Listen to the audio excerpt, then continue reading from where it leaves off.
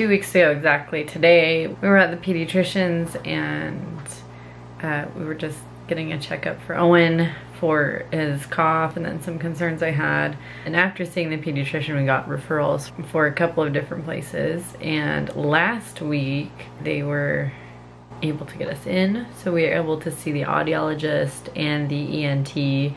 ENT stands for ear, nose, throat. We went to the same office that we went to when Eli had to get his tonsils out almost four years ago. Little buddy. Do you want to drink some more? Do you, want... you want me to drink the slushy? Yeah. Let's have some more slushy so you can feel better. Good job. Is that yummy? Mm-hmm. Yeah, it's yummy. But we went back there. Our ENT was occupied, but I just wanted Eoin to get seen.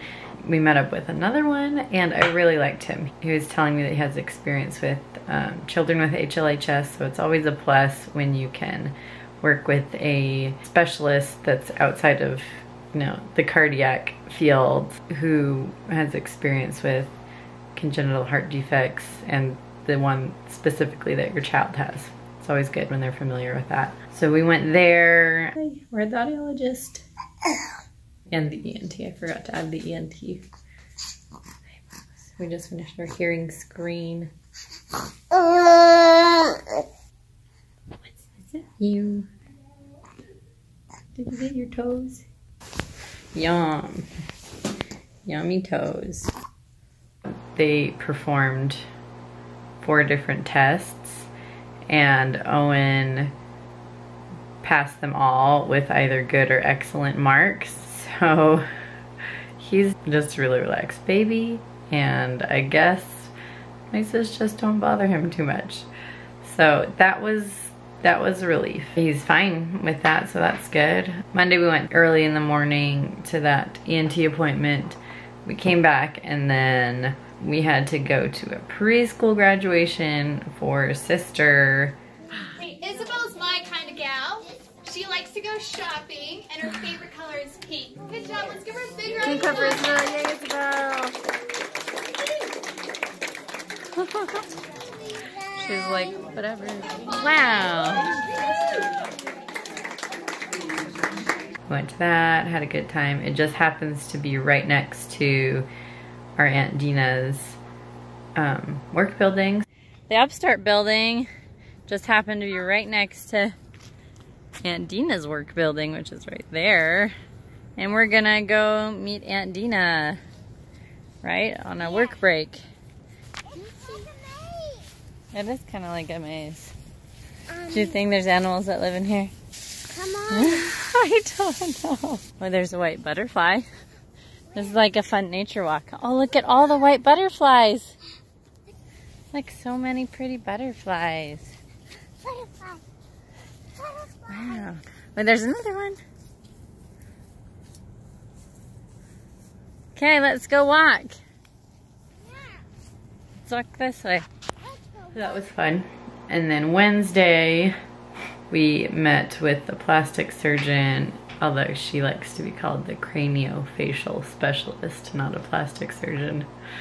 So, comparatively, I, I liked that the care and the treatment we got from the ENT's office way better than the plastic surgeon. I had an appointment with one of the doctors. It's a building that I'd never been to before and it's about 20 minutes away. I asked them what building, uh, where do I go, that sort of thing so I could be prepared. And the lady on the phone told me third building, second story, when it was really second building, third story, except it was really second building, second story. we got there, I was walking around and it's it's a hospital so it's not it's not super tiny. Uh, we're walking around and you know it was five minutes from my appointment time so I call them and they say hey we're looking for your office. Can you tell me where it is? Blah blah blah. And they told me that it was on the second floor second building and that she would let the doctor know that I was here but that I was running a little bit behind. So when I finally get to the office it is 11:20 and my appointment started at 11:15 and I check in and the little assistant at the front of the desk. She said, oh, I'm really sorry, but the doctor's not here. He had a really important meeting to get to, and he had to leave. That made me grumpy immediately. uh, I don't know. You know what? The thing is, like, if I had an 11.15 appointment and the doctor, the doctor wasn't even in the office anymore. Like, did he leave at 11.15 for his meeting? I did, did he know that I was there? I, you know, I was, I was kind of baffled. I'm like, well, how long how long do the consultations normally last? Are they normally five minutes long? And the front desk girl said yeah you know they're like five to ten minutes long but but usually people come 20 minutes early and they already have their paperwork all filled out from online. I would have not had a problem filling out all my paperwork online. That's good to know. And why didn't we schedule my appointment at 11 then instead of 11.15 she told me that if I had come at 11 and with my paperwork pre-filled out that the doctor would have definitely been able to see you. But because I wasn't there before my appointment time, I guess the doctor had to leave. That was annoying. So she said, okay, well, we have another doctor that can see you, or you can just come back another day. No, I'm not coming back another day. I had to arrange babysitting. I had to drive 20 minutes. It's a big deal. You know, I have other, whatever. It's like, oh, well, you know, it'll be a couple minutes for the doctor. She's with somebody else right now. Okay, so I sort of learned to ask specific questions when I'm dealing with doctors or staff or things like that. And, you know, I asked her, okay, by a couple minutes, do you, do you mean five minutes or do you mean 30 minutes? And she said, well, probably closer to 30.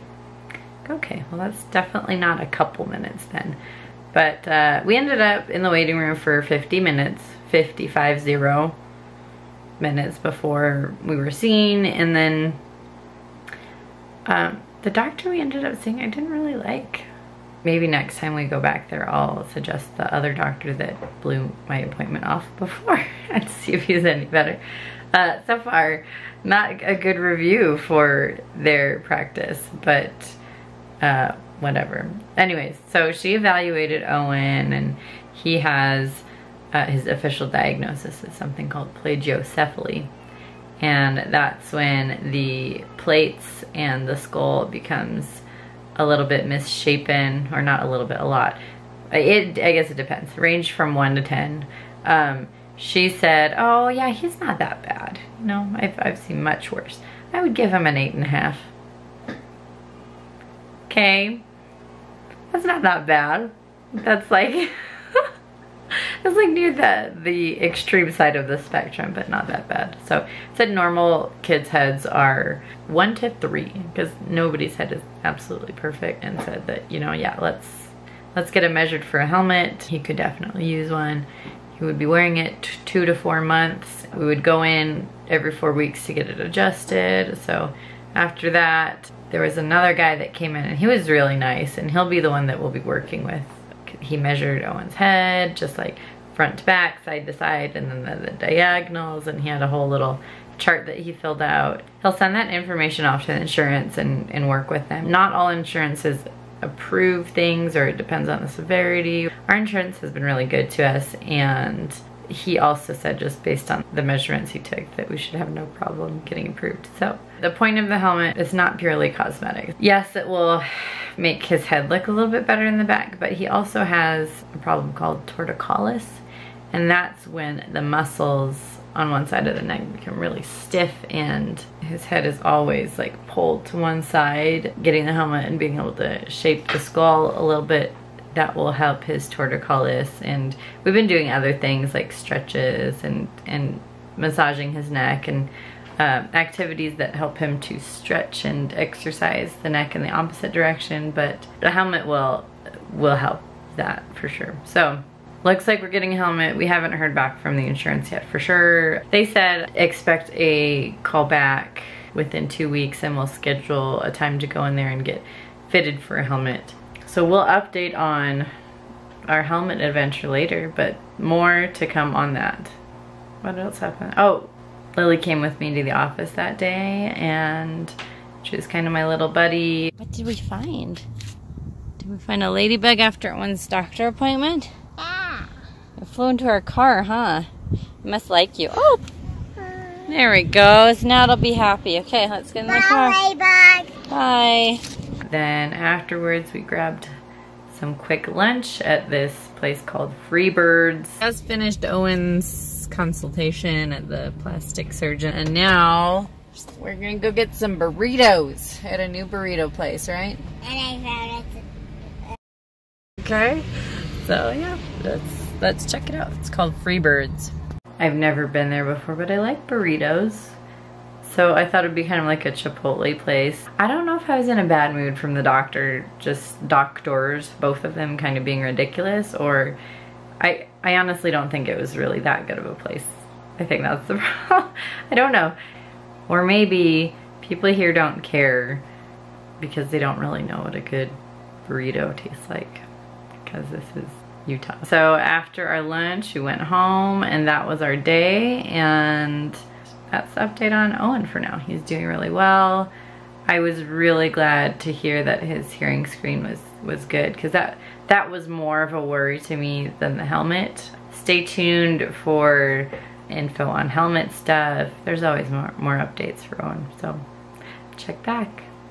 Thanks for watching and if you want to be in the loop for more updates on Eoin, on HLHS stuff, on our journey, subscribe to our channel. We have a playlist of just HLHS stuff that you can check out below as well on our YouTube page.